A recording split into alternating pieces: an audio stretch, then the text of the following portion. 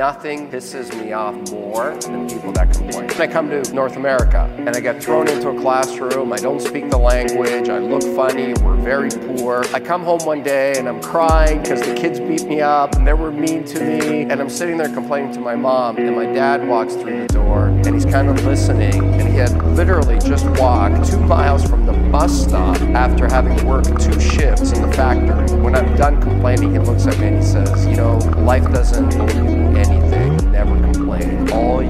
owe is an opportunity. And in this country, you have an opportunity. And then he went to sleep so he could wake up the next day and work two more shifts.